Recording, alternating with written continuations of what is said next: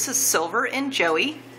They came in together. They were rescues. They were living with their owner in a van, and that wasn't a very good situation. So they're now here at Lake County Animal Care and Control.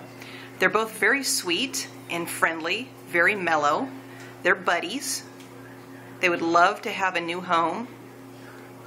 Nice big house, maybe. They love to have pets, and you can't really see it from here, but Silver has the most amazing blue eyes. He's like the Paul Newman of cats.